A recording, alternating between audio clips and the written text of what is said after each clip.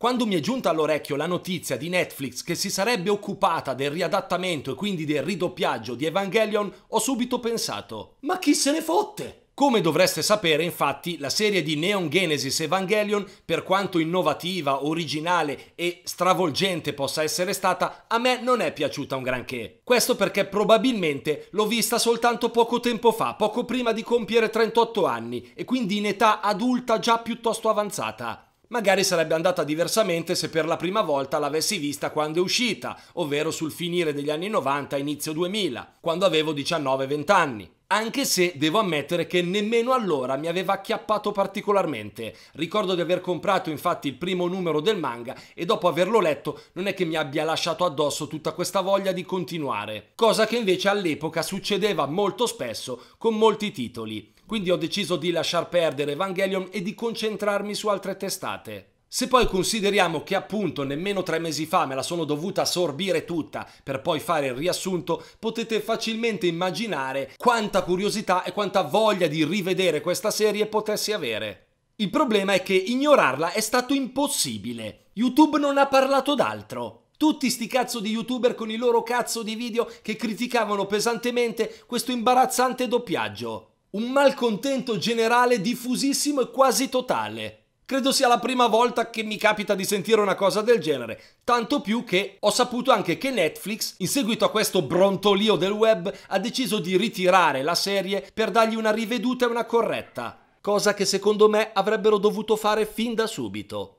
E quindi vedi uno, vedi due, vedi tre, sono riusciti ad ammorbare pure me. E così ho deciso anch'io di parlarvi di questa cosa, a mio modo. 3, 2, 1, via! La storia la conosciamo bene, c'è Shinji, questo solitario, sfigato essere inutile, talmente solitario e sfigato che perfino i telefoni pubblici si rifiutano di mettersi al suo servizio, che deve incontrarsi con una tizia, ma al suo posto arriva un mostro gigante che attacca e distrugge la città.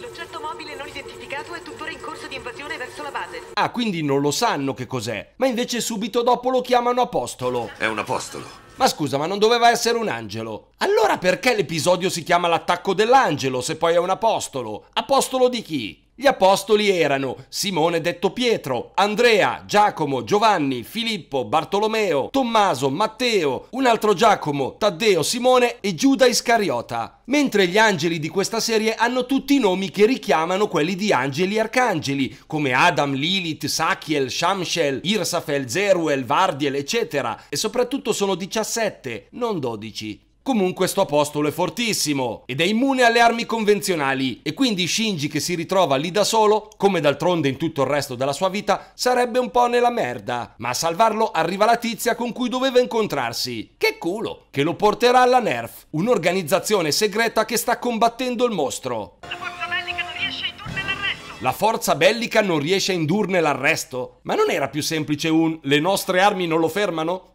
Nessuna recalcitranza. Recalci cosa? Aspetta. Nessuna recalcitranza. E qui devo ammettere di essere andato su Google a cercare cosa significava sta parola. Cioè, si capisce benissimo che cosa potrebbe voler dire, visto il contesto e il resto della frase. Però io volevo proprio vedere cosa significasse esattamente. Il suo significato non è quello che speravo. In senso un po' figurato, ok, posso anche capirlo. Ma non era meglio un più semplice nessuna reticenza? Oppure non indugiate? Boh, vabbè. Fra l'altro, a questo fra virgolette apostolo, i missili fanno una pippa, li scarta come caramelle. E allora bisogna ricorrere a un'altra arma, più potente. Significa che useranno una mina in giù. Una mina M2, semplicemente M2. Perché Mchu? Che cazzo è Mchu? Cos'è il nome di un rapper? Ti ringrazio molto. Mi hai salvato. No, anzi, lo direi io. Cos? E nuovamente molto piacere. Ikari Shinji. Certo. Ma certo cosa? Molto piacere. Ah, certo. Ma certo cosa? E dopo sta potente mina, il mostro è ancora lì. Quale enormità. Peste e diluvio, cos'è quello? Ma se avevo appena restaurato l'auto con tanto sforzo. Lei ha appena restaurato l'auto. Io invece l'altro ieri ho riparato un quadro di Michelangelo, anzi di Michelapostolo. Questa vi arriverà un po' dopo.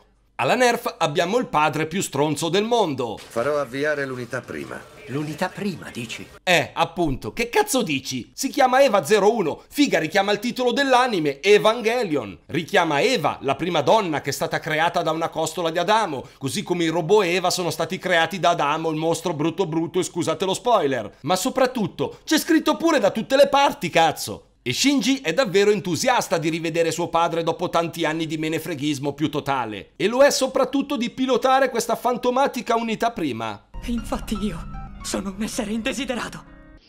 Andiamo bene, proprio bene. Ma poi, vedendo com'è conciata Rei, la precedente pilota dell'Eva, si lascia convincere e si fa il bagno nell'aranciata. E così il timido, introverso e inutile Shinji dovrà vedersela con quello proprio immondo chiamato Ange, ehm, Apostolo. Solo che le busca e si risveglia in ospedale per la prima volta di una lunga serie. E allora, visto che è sempre da solo come uno stronzo, Misato si impietosisce e se lo porta a casa, che qualcuno che pulisse i bisognini del suo pinguino domestico ci voleva.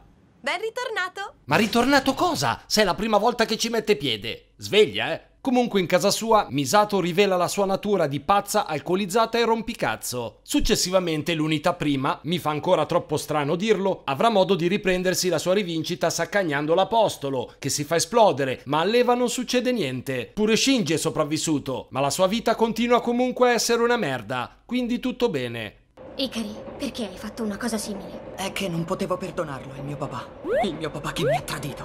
Il mio papà i miei sentimenti non li capisce affatto. Allora va via. Sì, tornerò dal mio insegnante. Stai fuggendo di nuovo. Ma scusa, ma gliel'hai detto tu? Io a bordo di un'Eva non ci salirò mai più. E dieci minuti dopo... Io sono il pilota dell'Evangelion Unità Prima! Sono Ikari Shinji! Ma non serve che tu lo dica, è tuo padre, vuoi che non lo sappia come ti chiami?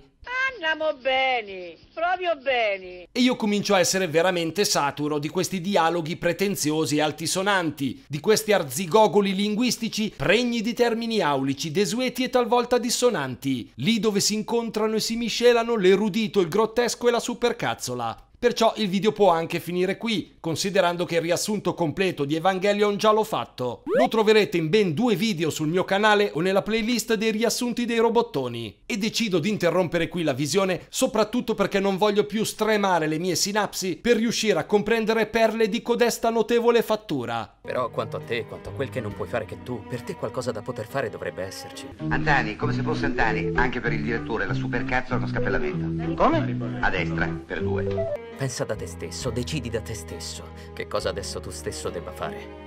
In che senso? Prima di chiudere saluto e ringrazio tantissimo Antonio Moliterni che si è sbattuto molto per trovare e mandarmi i primi episodi di questo riadattamento Netflix, anche se ufficialmente erano stati rimossi dal web, quindi dovevano sparire dal web, ma si sa dal web non sparisce mai nulla. Senza di lui questo video non potrebbe esistere, così come anche grazie a tutti voi che me l'avete richiesto. Ciao e alla prossima!